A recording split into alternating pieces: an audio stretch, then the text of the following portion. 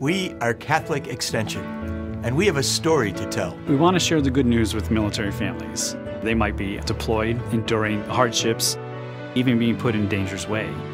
We are taking the gospel to the real world. Catholic Extension's been a, a pivotal player across this very vast region. Please join me on our next episode of Catholic Extension.